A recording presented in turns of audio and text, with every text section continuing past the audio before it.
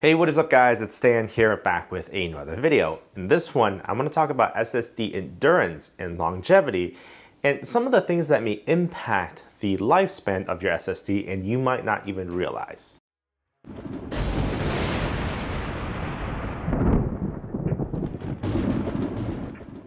Now, if you follow my channel, you already know that I picked up several 980 Pros a few months back and I absolutely love those drives. They've been very, very fast, very consistent, and they're PCIe 4.0 drives. A little bit on the pricey side, but they certainly do perform. I bring that up specifically because several days ago when I opened up Samsung Magician, I noticed that I had a significant number of gigabytes already written to the drive. Uh, this was a little bit alarming because it was such a large number of data written to the drives already in a, such a short span of time and I guess to understand why it's such a big deal, we need to talk about endurance and longevity. So there's a few things we need to talk about uh, before we get into that. The first is the acronym TBW, which stands for terabytes written. And it's a measure of how much data has already been written to the drive. Now, why is that important? Well, SSDs are not infinite in their longevity because uh, and you might already know a little bit of something about this, but in short, there's a lifespan on the SSD and that is greatly impacted by how much data has been written to the drive. Uh, as more data is written to the drive, the cells in the NAND flash can potentially fail. And as more data is written to the drive, it's more of a wear item and more cells fail. Now, this is perfectly normal. Uh, and drives are normally designed in a way that has over provisioning and additional cells for these cells to fill and they just mark it off and uh, the drive continues to work, just no realizing that those cells are no longer good anymore. Once you get to a critical point, however, when too many cells fail, then the drive starts spitting out errors and at that point, the drive is no longer, no longer good or no longer stable. So manufacturers give a drive a rating that's based off of TBW or terabytes written on how long they think the drive is good for or how long they're going to be covering the drive under warranty. Uh, and there's a lot of intricacies about the technology of the flash, uh, the SLC or single layer cells, the you know double layer, triple layer. The more layers cells, the less endurance. There's a lot of things to consider, but the point is there is a limit to the number of times a cell can be written to or the amount of data that can be written to a drive. The reason why I bring this up is because uh, those 980 Pros, the one terabyte version has a limit of about 600 terabytes. Now, if I recall, the two terabyte drives have a larger capacity of 1,200 terabytes. Now, to bring it all back here, the reason why I bring this up again is because when I opened up Samsung Magician, I noticed that I had 29.5 terabytes already written to the drive in three months. That kind of blew my mind because I've only got about 370 gigabytes total of data on this drive. How the heck does it write 20 or, or, nearly 30 terabytes worth of data. Now, of course, you clicked on this video, you already know based on the title of this video that this is because of NVIDIA Shadowplay. Uh, if you're not aware or if you haven't used NVIDIA Shadowplay, it's a software that's bundled with the graphics card that allows you to record your gameplay footage um, and retrieve it whenever. So uh, actually Shadowplay works in a way that it constantly records and you can clip 10, 15, up to 20 minutes of footage on the fly because it's constantly recording and have that saved to a file so you can retrieve it. In my gaming sessions, I absolutely love NVIDIA Shadowplay. Uh, it allows me to retrieve footage of when people make mistakes in our gaming sessions um, and come up with new strategies in both WoW and Final Fantasy. Those are the two main games I play. So if you can imagine raiding, you can see who really messed up by rewinding the clock and pulling that video file. So that's something I keep running in the background at all times. But you have to realize if it's constantly recording, there is a significant amount of data being dumped to the drives because of that. And so how much are, is it actually using? First up, I've got Samsung Magician pulled up here and you can see that the drive is in good condition with 29.5 terabytes written and the benchmark numbers are all good. Now, if I tab over to performance here, this is the real-time performance or activity for the drive. And you can see that I'm writing uh, 20 megabytes per second at a time in little bursts. And it's constantly running with the game running in the background, right? and it's just going and going and going with 20 megabytes bursts all the time. Pulling up GeForce Experiences overlay here with a game running in the background, you can see we've got the instant replay option turned on. Uh, and of course you can manually record, but I want to focus in more on the instant replay. So to take a look at the settings here, let me turn it off and pull the settings. Uh, you have an option to uh, record 10, 15, 20 minutes of video. This is only going to affect the file size.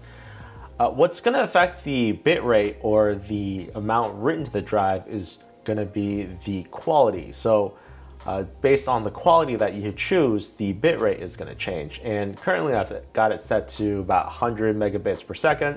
100 megabits per second is approximately 12.5 megabytes per second. So you can see every second it's you know recording at 12.5 megabytes per second. Uh, you saw that the drive was writing about 18 to 20 megabytes per second, so that's why you've got those bursts of, of writes. So it's being cached in the memory and then being written to the disk. So there's those burst writes. Now I can certainly decrease the bitrate from what I've got right here to high to medium. Um, it works just fine. However, at a high resolution, the, at a lower bit rate, the, the, picture starts to look not as good. So that's why I've got it set to high. Uh, again, the file size and the amount I'm writing isn't actually that big of a concern. It was just surprising to me, but again, it's not that big of a deal.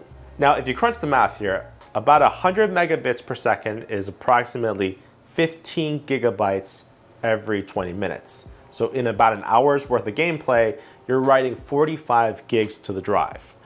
Uh, and, and, let's say you have a three hour gaming session, right? That's 130 gigabytes of data being written to the drive. Now, of course, you're not actually saving those video clips. It's being written and it's constantly being deleted so that you don't fill up your drive, you know, very quickly.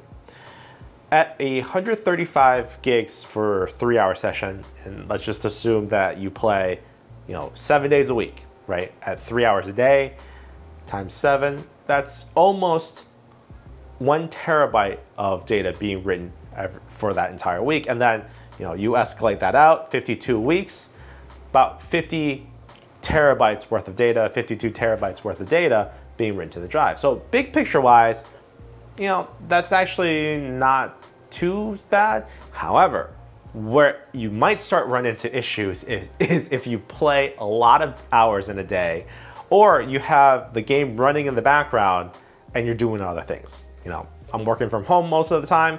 I sometimes have a game running in the background. You know, I'm not actually playing it, but it's it's running, and when it's running, it's constantly saving, you know, footage. So if you're running, let's say, a game six hours, eight hours at a time, and you're doing work or doing whatever, and it's churning away, or you have not maybe not a game, but you have something else that's 3D intensive and it's triggering NVIDIA's uh, shadow play and it's recording. You know, that's where you potentially run into hundreds and hundreds and hundreds of gigabytes of data being written. Now, bringing back to my scenario again, 30 terabytes in three months, so 10 terabytes a month you know, if you do the math, it, it's only several hundred gigabytes a day. It, that's actually all, not all too bad. Um, and given the endurance of my drives, that's not gonna be an issue. Where you have an issue is if you have a lower quality drive, and let's just give an example. Let's say the MX Crucial 500 is a drive that came out a couple years ago. Uh, it's a relatively popular drive and it did pretty well for its time. And this drive has a relatively low uh, TBW rate, rating. It's not significantly low, but it's not you know very high performing. For example, a 500 gig drive, right, is only rated for 180 TBW. A one terabyte drive is only rated for 360 TBW. So let's say you have a 500 gig SSD and you're running your games and you are in my situation where you have written 30 terabytes in three months. If your total write uh, before failure or the TBW is rated at, at 180, right? 30 divided by 180, that's 16% of your drive already gone. At the rate that I'm writing, in a little bit over a year on that 500 gig drive, you would use up your full allotment of 180 terabytes. So that's kind of that's kind of scary, especially when um, you know this drive is good for what five years at a, a rating of 98 gigs per day. You know you're clearly blowing past that 90, 95 gigs or 98 gigs per day if you're running something like Shadowplay at a high bit rate. So Shadowplay isn't the only culprit of writing a lot of data to the drive. If you're running OBS, if you're a streamer but also recording video, right? You're recording a lot of gameplay. Uh, you know, AMD also has their own video gaming recording software. Uh, it all it's all to the same effect. If you're writing constantly to the drive from you know recording gaming or gameplay, then you're going to be writing a lot of data. So, uh, you know, before you go ahead and turn off Shadowplay and say, oh, I'm never going to use it because it's going to kill my SSD, I would just take a look at what bitrate you're writing at um, and, and what kind of endurance do you have on your drive. You know, you might have a drive that's a SLC drive or a very high endurance drive, that's not gonna be an issue, right? Or you might have a drive that's much worse than this and, and you might wanna be a little bit more careful. So it's really, this video is really just to kind of educate you guys to make you realize that uh, something like shadow play can potentially write a lot of data to the drive. Um, and you know something that you might want to mitigate if that really is a concern to you. You can potentially decrease the bit rate, you could potentially point the storage files to a mechanical hard drive if you want, uh, although retrieving and playing back those files is going to be a little, little bit slower, but hey, you know what? There's always a little bit of trade-off everywhere, right? Whatever, regardless of what you do. So I didn't want to be alarmist, but certainly being educated and being aware of what's going on is not a bad thing.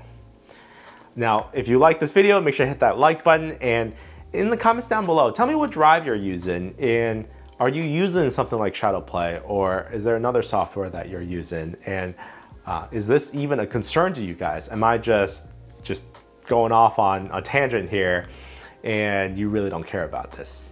As always, my name is Stan and I'll see you guys in the next one.